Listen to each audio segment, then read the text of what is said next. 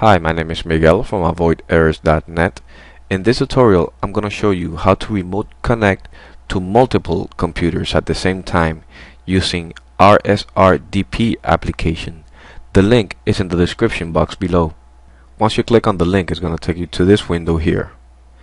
Just click on download and in 5 seconds the download will be available.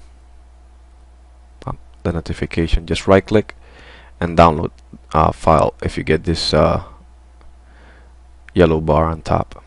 And again five more seconds. Perfect. Now click on save. And I'm gonna save it in my desktop. And then click on save.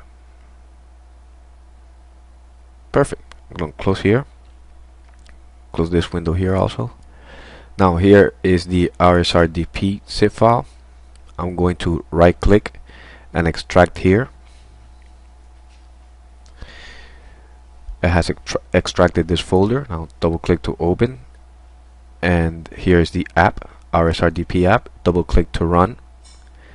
And now to remote connect to a computer, just click on File, Quick Connect, and type the IP address of the computer you wish to remote uh, connect to or remote access. This is the Windows XP computer. Username and password, click OK, and perfect. Now click on the sidebar here and then click File, Quick Connect to connect to a different computer. I'm gonna select the IP address of the Windows 8. Click OK. And the same. Type your username and password.